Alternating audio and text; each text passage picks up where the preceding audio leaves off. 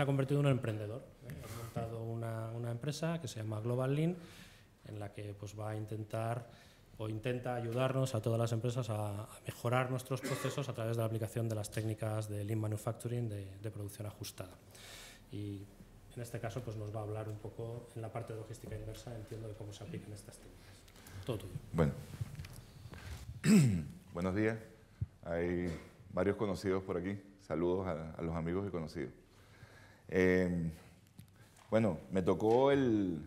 Es bueno porque me tocó la parte de ser telonero, ¿no? y los teloneros podemos decir varias cosas que después van a ser profundizadas. Quizá, quizás lo que, quiero, lo que quiero compartir con ustedes en este momento, porque aquí tenemos una lista de, ponentes muy importantes y con mucho conocimiento sobre la logística inversa, eh, eh, lo que quiero compartir con ustedes hoy es una visión más amplia de la oportunidad que la logística inversa nos está dando. ¿no? Eh, y, verdaderamente ver cómo, podemos aprovechar esa oportunidad para hacer más eficientes las cadenas. Y, otro punto que quisiera, que quisiera compartir con ustedes, básicamente, es el concepto real de la logística inversa. Porque por lo menos yo, en, que vivo mi vida y tengo 25 años relacionados con, la logística, trabajando en logística, para adelante y para atrás, como le digo yo, ¿no? sea inversa o sea para adelante, o aguas arriba o aguas abajo, me encuentro todavía en este momento que cuando hablamos de logística inversa, el concepto que tienen las personas es el tratamiento de las devoluciones. Y a mí eso básicamente me impresiona. Me impresiona porque no es el concepto real que, la logística inversa eh, tiene y tampoco el alcance que tiene la logística inversa dentro de nuestras cadenas. Lo segundo eh, que quiero revisar es este mismo alcance con ustedes, alinear un poco porque este foro, según tengo entendido, pues es personas muy expertas, pero también personas que vienen a conocer esto que es la inversa. Entonces vamos a, revisar ese concepto y ese alcance realmente que tiene la logística inversa. Eh, como tercer punto quería compartir con ustedes es el rol eh, que, juegan actualmente los servicios logísticos en la, logística inversa y la posición que están jugando los operadores logísticos en, este, en, la logística inversa y, y las oportunidades de negocio que se pueden desarrollar en base a, esta parte del management emergente de la logística que se llama logística inversa. Porque para mí es una parte de management logístico emergente que surge para nosotros los que estamos en esta cadena. Y, esto y, en esto voy a basar estos 20 minutos pues, que tengo para compartir con ustedes. Eh, ¿Están de acuerdo, no? Pues si no me tengo que ir, pues es lo que, lo que, lo que he preparado, ¿no? Hay fuerzas motoras. Hay fuerzas motoras que nos, que, nos, conducen hoy en día a que esté este segundo foro, a que hablemos de logística inversa, porque hace 10 años o 15 años yo vengo del mundo, en, mi parte profesional, trabajé en una gran multinacional del mundo del packaging alimentario en plástico. Nosotros somos, reciclamos desde hace 15 o 20 años, pero no se hablaba de logística inversa. No teníamos este concepto como tal. ¿no? Ahí creo que han surgido fuerzas motoras que nos, que, nos han reunido en esta sala. Esas fuerzas nos han reunido en esta sala. La primera son razones económicas. Yo la pongo como primera. Las razones económicas es que esta fiesta vale mucho dinero. Nos pesa en el bolsillo, a todos, fabricantes, a, cualquier stakeholder de la cadena de suministro. Nos ocupa espacio, nos compromete los stocks, nos compromete la financiación, nos produce sobremanipulación. Una agencia de, marca llegó a estimar que los costes logísticos de inversa pueden ser más o menos el 20% de los costes totales. A mí me parece una exageración, pero es un dato de, principios de este año. Entonces quiere decir que todas estas razones económicas nos están llevando como... Es una de las fuerzas motoras más importantes para que hoy todos queramos compartir y conocer conceptos inversa. Después, por supuesto, en donde yo no soy experto, en unas razones legislativas, ¿no? que nos están conduciendo cada día a eh, tener por obligación que mejorar nuestra logística inversa, cambiar nuestra logística inversa, diseñar nuestra estrategia de logística inversa. Hay otra tercera fuerza motora, que son las responsabilidades extendidas de fabricantes, productores y consumidores, digo yo, que nos, que que nos conducen también a eh, cuestionarnos cómo estamos realizando esta logística inversa y cuáles son las estrategias ligadas a ella. Pero hay un cuarto factor que ustedes pueden, leer de logística inversa, pero que, no, se mencionan, y Eduardo lo dijo, que yo creo que, va ligado al comportamiento del consumidor. Y los nuevos canales de distribución, como el e-commerce que estamos, abriendo. Hay un dato también eh, bastante, importante que leí, que estos datos yo no los puedo corroborar porque no no los he estudiado yo personalmente, pero que dicen que el 28, hasta el 28% de los envíos que se hacen en e-commerce pueden ser devueltos por el, por el comprador final. A mí me pareció una barbaridad. Pero si no es 28, póngale que es 14, y si no es 14 es 12, pero sigue siendo una barbaridad. ¿no? Entonces, la cuarta fuerza que a nosotros los más logísticos nos, trae, nos trae a querer entender sobre logística inversa es sencillamente este cambio en, el, consumidor, el cambio de nosotros, de, cómo adquirimos y en qué condiciones adquirimos, y el canal que estamos utilizando para adquirir nuevo, que está proliferando y aumentando. Eh, todo lo que es la, parte inversa de la logística. Pero ¿cuántos de, nosotros aquí deben haber fabricantes, deben haber distribuidores, deben haber operadores logísticos, deben haber diferentes empresas y componentes de la cadena de suministro?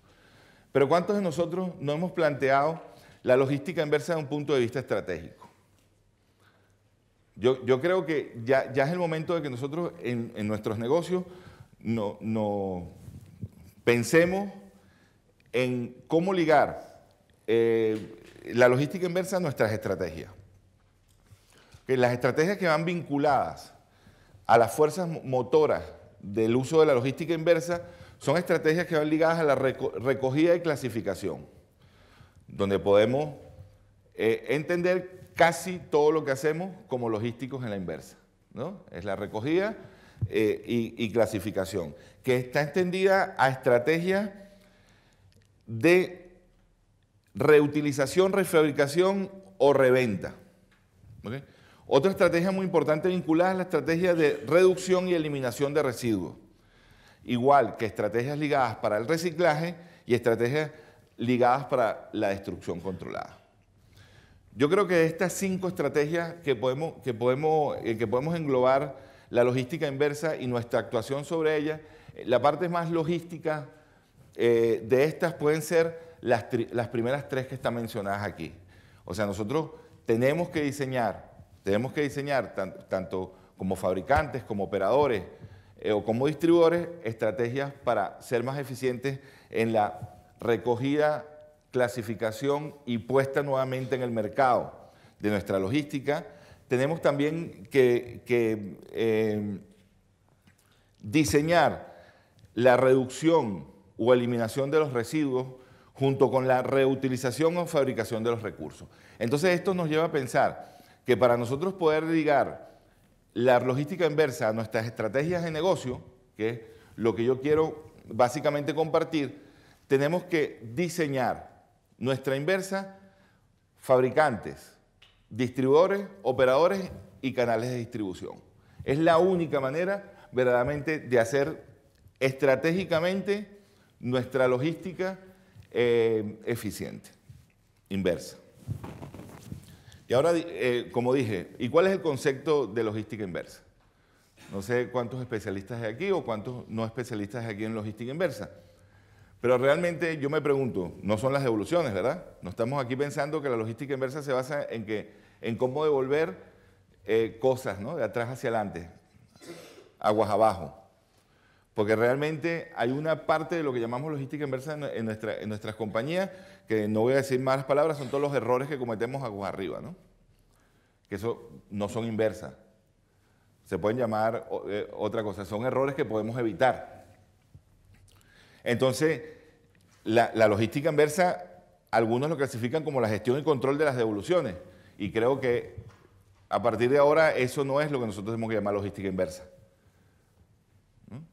Logística inversa quizás podría ser el conjunto de procesos, gestión y control de la recogida de productos desde el punto de venta y o consumo hasta el fabricante o centro logístico con el fin de recuperar el valor o la propia venta. ¿Estamos de acuerdo? Podría ser eh, un, un, concepto un poco más centrado en lo que es logística inversa. Pero este concepto se ha ampliado. En los últimos tiempos, el, el segundo concepto que les he dicho, que es el propio de logística inversa, se ha ampliado. Y se ha ampliado diciendo que es un proceso para planificar, implementar y controlar eficientemente y a un costo apropiado los flujos de materias primas, inventarios de procesos, bienes terminados e información relacionada desde el punto de consumo al punto de origen, con el propósito de recuperar su valor primario o disponer adecuadamente de ello. Entonces, fíjense que, ese concepto nos lleva a pensar que en nuestro mundo logístico lo que tenemos que hacer es, es gestionar un proceso de planificación y, control del flujo de las materias, primas, inventarios y procesos, desde el punto de uso, manufactura, distribución, hasta el punto de recuperación o disposición adecuada. Entonces, partiendo de ese concepto de, eh, de, logística inversa, ya se nos empiezan a abrir un poco más las posibilidades de negocio. Eh, hay unos conceptos ligados a, los llamados, a, las llamadas 6R en logística inversa, que es algo que quizás hemos oído pero que no evaluamos. Eh, normalmente cuando se habla de logística inversa se habla de 6R, que son el reciclado de materiales y componentes, la recuperación de componentes que puedan ser utilizados para otras industrias o al, aprovechamiento directo, la renovación, el reprocesamiento, la reventa y la reutilización para aumentar el ciclo de vida del producto.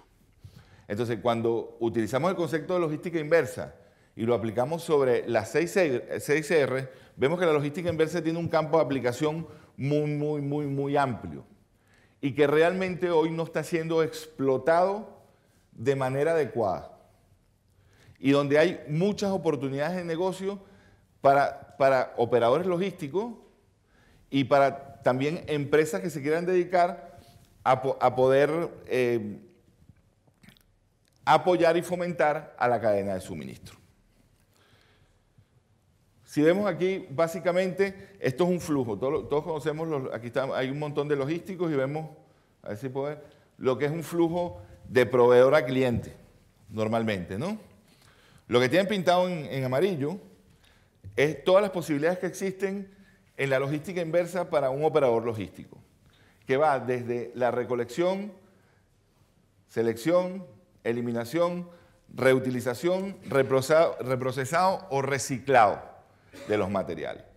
En conversación con la compañera que le me decía que hay muchas trabas legislativas a la hora, a la hora de, conseguir eh, todos los papeles necesarios para poder, para poder quizás reprocesar o, reciclar. ¿no? Quizás el gobierno nos impide a veces el, poder avanzar en nuevos negocios. Pero sí estamos, estamos muy claros que en, eh, los en, el, en el mundo de la inversa, hoy en día no existen en España operadores logísticos que estén realmente especializados. Y aquí podrá saltar alguno de ustedes, hay uno, hay, uno que otro que se está especializando, pero realmente no hay operadores logísticos especializados. Y mi pregunta hacia ustedes es, ¿se tiene que especializar eh, los operadores logísticos en inversa? ¿Ustedes qué creen? Por supuesto, por eso estamos aquí. Ahora, mira quién está ahí. Cuando hablamos de logística inversa, estamos hablando de recuperar valor, pero el valor fundamental que tenemos que recuperar es la fidelidad del cliente para que vuelva a comprar y confiar en ese producto, en esa marca, en ese distribuidor. Para mí hay un elemento esencial que has olvidado, Ricardo, o por lo menos que has olvidado en esta presentación, estoy convencido que no has olvidado, mm. y es que tenemos que disminuir los tiempos de respuesta al cliente. Cuando hablamos de logística inversa, gran parte de esa logística inversa está basada en reparaciones para poner el producto en disposición del cliente Esa fidelidad, eso nos puede llevar incrementar la fidelidad del cliente para su vendedor, por, por supuesto recuperar el valor del producto, lo que en definitiva se llama incrementar valor o tener rentabilidad sobre el cliente, sobre el producto y sobre el operador logístico. Quiero añadir. Eh, efectivamente hay operadores logísticos que se están especializando en ello. Eh, esto es como es muy dinámico y cambiante, cada, vez se incorporan nuevas formas de, gestionar la comunicación, de agilizar los procesos, pues nosotros estamos profundizando en ello. Somos uno de esos que se están especializando. Muy bien. Quizá, quizás la fidelización, bueno, hablar de fidelización y el concepto de negocio quizás sean dos puntos, van unidos pero dos puntos separados. Si nosotros, eh, si nosotros recuperamos eh, estas cuatro diapositivas y, hacemos un resumen, vemos que hay fuerzas motoras que nos conducen hoy a, a darle importancia a la logística inversa estas fuerzas motoras en el mundo logístico, más que las legislativas, con el, con, el, con el permiso de los más ecológicos o de las responsabilidades extendidas, para nosotros son las, las económicas y la oportunidad que se están generando en el nuevo eh, cambio del consumidor y de los canales de distribución.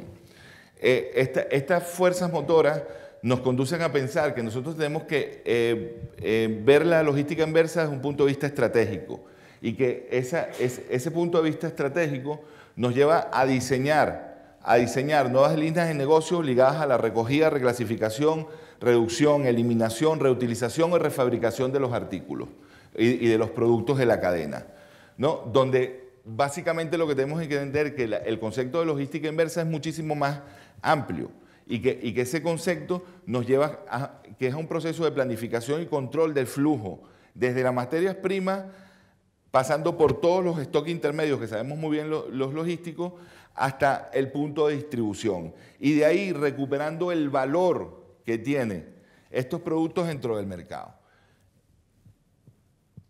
estas estrategias ligadas a este concepto nos llevan a ampliar el alcance que tiene la propia logística inversa en, en un concepto más purista, que es la logística inversa va más allá que una devolución. Va al reciclado, a la recuperación, a la renovación, al reprocesamiento, a la reventa y la reutilización.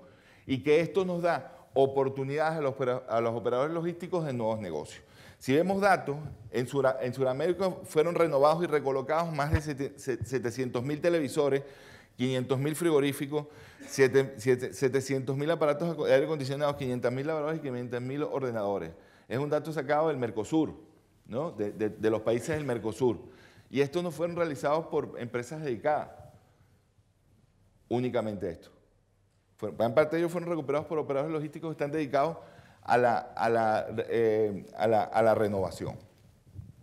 Si vemos las oportunidades del flujo, dice, oye, de, las necesidades y flujos y, servicios ligados a la, cadena de suministro, podemos decir que la logística tiene para nosotros lo, los logísticos de, cadena de suministro varios caminos. Estos varios caminos van, logística que va desde el cliente o consumidor final hasta los almacenes de distribución, que son recogidas, distribuciones o productos efectuosos.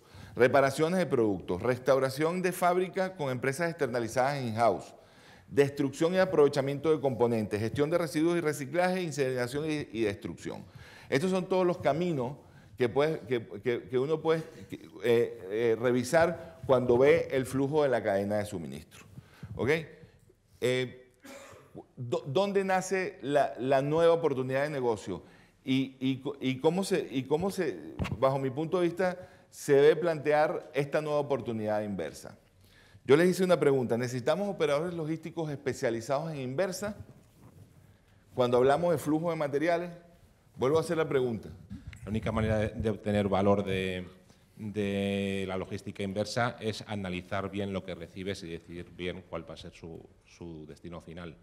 Y solamente se puede ser especialista, o sea, solamente se puede ser eficiente si eres especialista en el sector del que estás hablando. Entonces, yo creo que el futuro está en ser especialista en logística inversa mm, desde un punto de vista sectorial. Ok, eh, desde un punto de vista sectorial. Eh, cuando, cuando, analizamos, el, cuando, cuando analizamos los conceptos, eh, la logística empieza como un proceso. Si nosotros vamos a, a, teorías y filosofías regladas de, gestión y mejora de procesos, hay una metodología que se llama SCORE.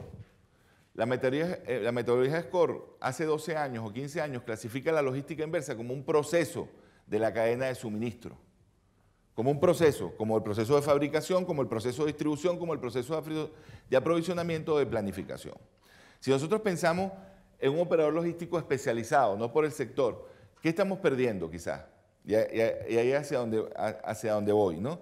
Estamos, estamos perdiendo la oportunidad, la oportunidad de buscar sinergia dependiendo de, los servicios que estemos ofreciendo, quizás los operadores logísticos deberían, entenderse, deberían extenderse en su, oferta de servicios, como hoy se clasifican, como todos sabéis, un operador logístico 1PL, 2PL, 3PL, 4PL, 5PL, dependiendo la complejidad y eh, la complejidad con que gestionen la cadena de suministro y los servicios que ofrezcan, quizás deberíamos pensar que estos operadores logísticos deberían agregarse R's a ella.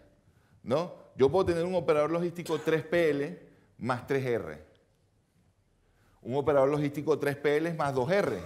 ¿Qué quiere decir? Con servicios especializados sectoriales. Porque tú me estás diciendo, el operador logístico tiene que conocer el artículo que reclasifica, por supuesto, pero también la cadena de suministro debe aprovechar, debe aprovechar los volúmenes y las ventajas que tiene para poder eh, transformar la logística inversa no en un coste, sino en un centro de beneficio.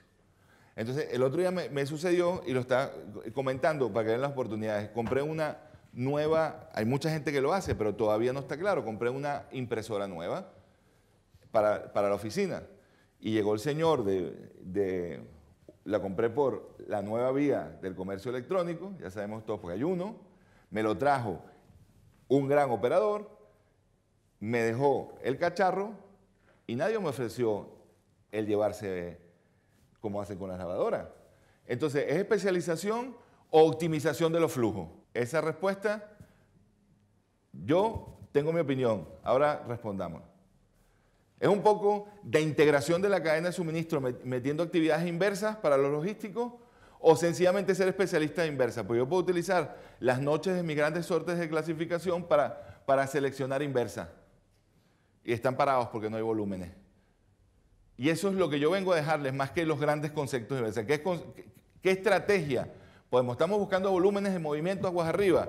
Busquemos, señores operadores logísticos, la integración de proveedores, de, fabricantes, proveedores y distribuidores para poder generar escala o economía de escalas que nos permitan optimizar la logística inversa y no ser solo operadores 3PL, 4PL o 5PL. Vamos a meterle un operador 3PL más 2R, que es gestión, clasificación y, recolocación, sería para mí, de todos los productos, igual que lo hacemos aguas arriba, lo hacemos aguas abajo.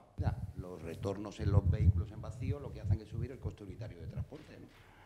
Pues al final, eh, si no utilizamos nuestros recursos ociosos, pues al final no estamos obteniendo el rendimiento adecuado de los recursos que tenemos, bien sean vehículos, personas, instalaciones, sistemas, eh, cualquier elemento. Eso, todo eso es, como tú dices, un flujo que hay que optimizar. Bajo mi punto de vista es la oportunidad de negocio real para nosotros logísticos, más que montar una planta de reciclado de PET o de plástico, ¿no? O competir con la, compañera eh, sacando metal, que, es muy diferente. Quizás ella lo que necesite es que nosotros los logísticos le echemos una mano, le echemos una mano e integremos sus procesos, integremos nuestros servicios a sus procesos para que ella pueda buscar la economía y ese coste integral logístico que tanto buscamos. Eh, ahora, eh, si esta nueva oportunidad la compartís conmigo, ¿cómo, ¿cómo, implantaríamos un servicio un operador? Bueno, aquí tendríamos que, eh, un servicio ligado a las R, un servicio 6R, 3R o 4R, como lo quieran ver. Ah, primero, analizando las barreras de entrada, definiendo qué producto o no se incluye en, el sistema inversa. ¿no? Y eso no lo decidimos nosotros como operadores logísticos. Eso lo decimos en unión a quién? A productores, a distribuidores y a proveedores. Diseñar mecanismos de recolección, rutas, puntos, decisión de capacidades. Cuando vamos al reciclado de plástico, Eso ya está muy curradito y tú tienes todos los puntos de plástico, ahí echamos todas las botellitas, los llevan para atrás, los seleccionan con fotoespectrómetros ópticos, los separan, el P para arriba, el polietileno sube y todo muy bien. Pero esto, se está ampliando, eh, estos conceptos inversa, y podemos ampliar nuestro, nuestros servicios logísticos en el mercado. Una vez, igualmente, para, implantar una estrategia de esto, tengo que decidir qué hacer con el producto dependiendo de las reglas de negocio. Lo que hablaba mi, eh, el compañero, yo estoy totalmente claro, es que la, clasificación, selección y reacondicionamiento para la venta se basa en reglas de negocio bien establecidas que tienen que tener los productores y distribuidores para que nosotros podamos hacer el servicio adecuado. Y eso lo podemos hacer sencillamente generando estándares de calidad con metodologías Lean. Estándares de procesos que nos permitan verdaderamente no, hacer tan complicado, hacer complicado lo que no es tan complicado. Porque parece cuando hablamos de inversa que es complicadísimo. ¿no? Y yo creo que no es tan complicado como parece. Sencillamente debe tener las mismas reglas de negocio establecidas y, la misma eficiencia en los procesos como hacemos aguas arriba, bajo mi punto de vista. Y también apoyar en, esta implantación de servicios a la recolocación utilizar servicios ampliados, como lo tiene que hacer un, operador logístico 5PL, eh, apoyar también a, la inversa a los fabricantes y distribuidores a poder recolocar estos artículos.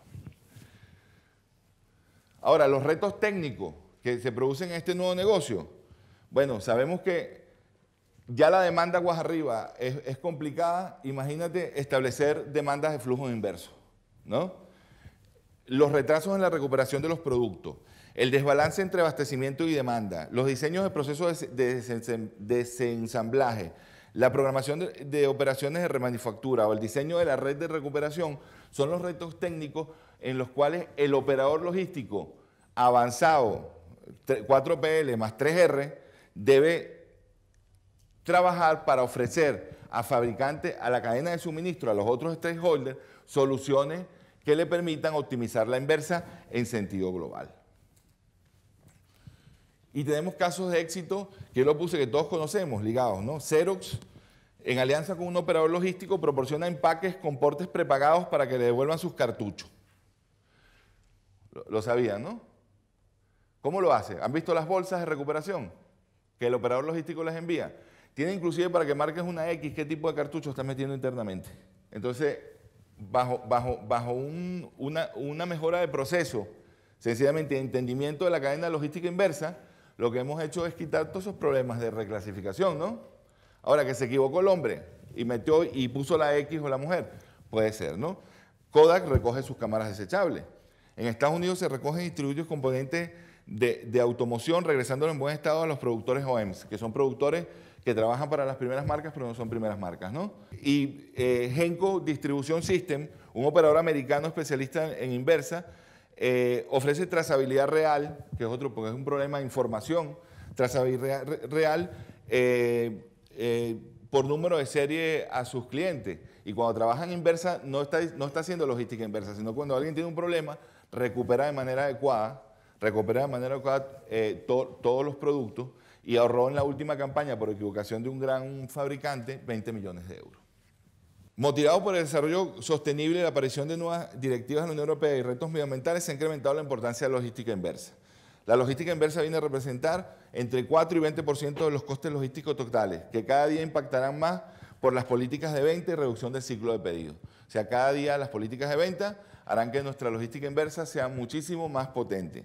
Los distribuidores que adoptan programas de logística inversa ahorran entre el 1 y el 3% de las ventas, reducen mucho el tiempo y dinero dedicado a la gestión de retornos, recursos, transporte y reconciliaciones en la facturación.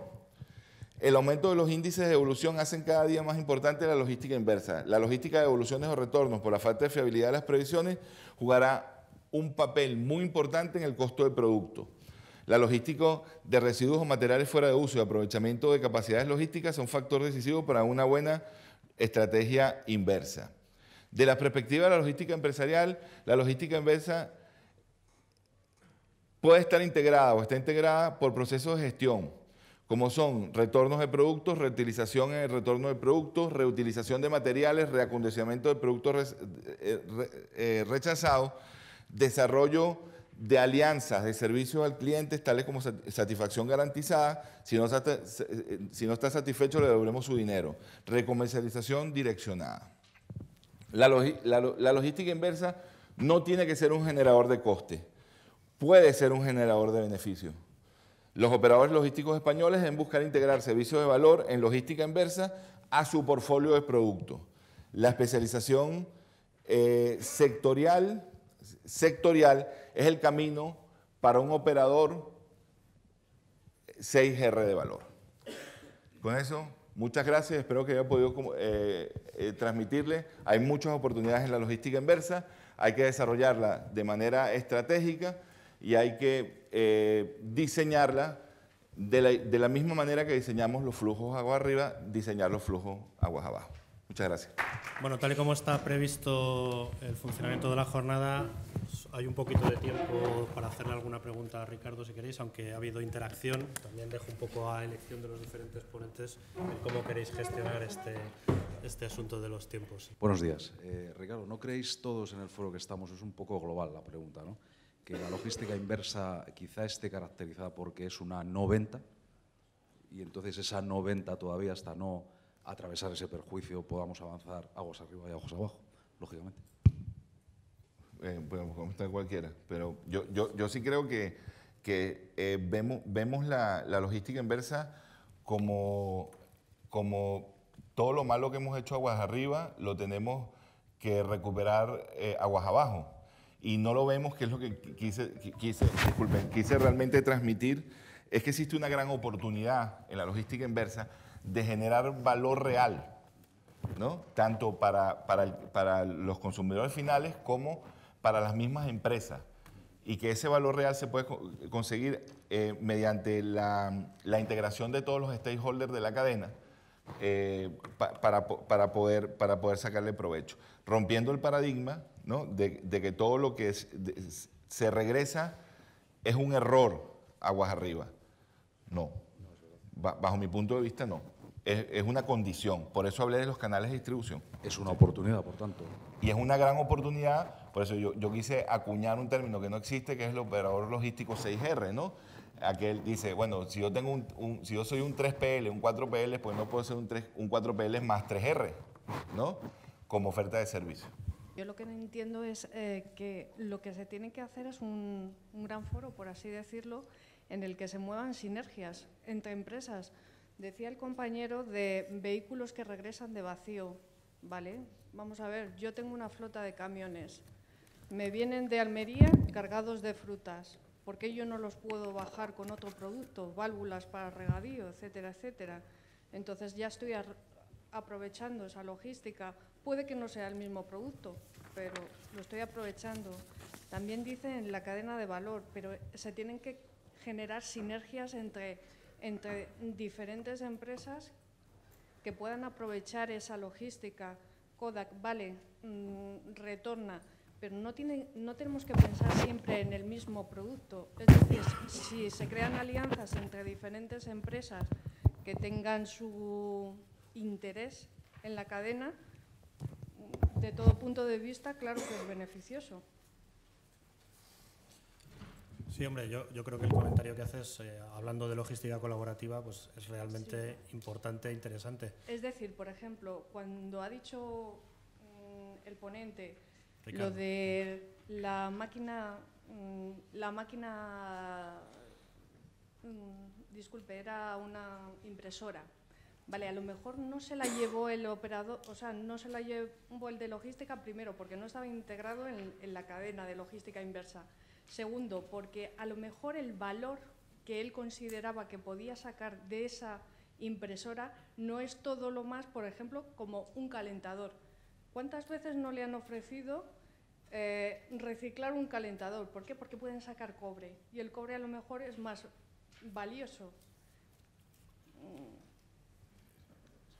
Sí, yo, creo que de todas maneras tu, planteamiento nos lleva un poco a que a que al final la logística inversa es, es, un, es un problema que tenemos que ver cómo solucionarlo. No lo considero un problema, lo considero más bien sinergias entre empresas. Es decir, aquí cada uno va con su película hacia adelante. Sí, pero lo que yo te entiendo, igual Sí. discúlpame si no te entiendo con claridad, es que esas sinergias, que yo, yo las, las, eh, las comparto contigo, que deberían, deberían estar ahí, esas sinergias lo que nos permiten es, entre todos, resolver un problema o minimizar un y coste. generar valor. y generar un valor, evidentemente, que en el fondo es de lo que estamos hablando todos aquí, de cómo yo me sigo manteniendo un poco, a pesar de lo que, de lo que digamos, en que, a ver, lo mejor de todo, lo mejor de todo es que no haya un flujo de aguas arriba. Eso creo que sería lo mejor. Imagínate que yo llevo un producto, llevo esto, se consume y el envase se diluye en el, en el espacio. Eso Sí, sería lo más eso- barato, estamos todos de acuerdo, Sí, ¿verdad? pero eso es lo ideal. Pero como lo- no es así, pues tenemos que recurrir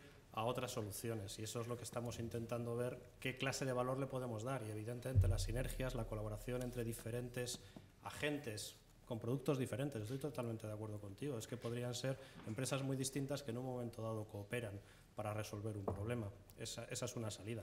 La otra salida son las que estaba proponiendo Ricardo, de que yo como operador logístico eh, de forward logistic, logistic, ¿no? de, de- de logística directa, pues también me especializo un poco en la logística inversa y doy ese servicio adicional a, a mis clientes. No hemos hablado de un caso que es paradigmático, creo, y que más o menos todos conocemos, que es el de Inditex, el de Zara. ¿Cómo hacen ellos este tema de la logística? Ellos aprovechan la no venta para conseguir muchas más ventas en de, diferentes maneras. Vamos, yo he oído historias y he visto algún vídeo de cómo ellos, incluso desde el momento en el que están diseñando determinadas prendas, ya están pensando en que si esa prenda no se vende, yo la puedo recuperar y con muy poco trabajo localmente la puedo transformar en otra prenda que sí que se va a vender. El ejemplo de Kodak, perdonadme la broma también, que oía precisamente con la entrega de los Oscars que este año no se han hecho en el Teatro Kodak porque Kodak ha entrado en bancarrota. con lo cual. Sí, pero ¿por qué entro en bancarrota? es- no perdona, afortunado. no, perdóname, no, no quería. No, y fuera parte, Kodak, mm, no hay que olvidar todas las patentes que tiene Sí, sí, sí. a su servicio y las que... Sí, el problema de Kodak no es un problema de logística, no es un problema de modelo de negocio, realmente. Fue que no se adelantó, no puso más, apostó más por el analógico que por el digital. Sí, Fue un correcto, error, correcto. un Sí, sí, sí, sí, está claro. La, la cuestión es cómo, cómo lo, cómo, cómo lo hacen, ¿no? Sí. No sabía esto si no lo hubiera borrado, ¿no? Eh, bastante, bastante desafortunado eh, el- lo de Kodak. Pero la cuestión es cómo, cómo, cómo, cómo lo hacen, ¿no? Eh, estamos hablando de... de- la, la cuestión es diseñar la estrategia inversa. O sea, eh, nosotros, eh, ¿cu- ¿cuántos de los que estamos aquí hemos trabajado en el diseño estratégico de la logística inversa? Lo que hemos hecho es operar sobre la logística inversa. Quizás Sara, muy bien Eduardo, ha hecho una estrategia de logística inversa acomodando, eh, ac- acomodando su inversa para poder generar valor o por lo menos, vamos, vamos a decir, generar valor o, o perder menos, eh, Eso. o perder menos valor, ¿no? Porque lo que dice Eduardo es totalmente, ojalá nada se tuviese que devolver, pero eso no va a pasar va a nunca. pasar. Y lo que nos está diciendo el mundo es, señores, que esto va a seguir aumentando, cuidado. ¿Ok? Porque a ahora hay factores legislativos, económicos, medioambientales, papá, que te, está- que te están forzando a hacerlo, ¿no? El- y no es devolver, pero si tú tuvieses, si tú tuvieses bien, bien claro que hay operadores logísticos con alguna R, que tú tienes eh, zonas de influencia de distribución, que, puede, que puedes utilizar la, la capilaridad de localidad para poder transformar en el mismo sitio y volver a reubicar desde el mismo sitio a, a las zonas donde se vende el producto, eso es muchísimo más económico. Pero todavía hay gente que busca, de toda Europa trae a centros de inversa todo su producto para poderlo clasificar, porque parece que su producto no se puede clasificar porque es muy, muy, muy, muy, lo estoy diciendo con bastante ironía, muy difícil de clasificar, ¿no? Es que existen tecnologías que nos permiten. Y después lo vuelve a distribuir a otras partes del mundo. ¿Ustedes creen que esto es lógico? Pues es una brutalidad logística estratégica. Entonces mi invitación era, señores logísticos, pon- pongamos las pilas, aquí hay negocio, ¿no? Muchas gracias, Ricardo.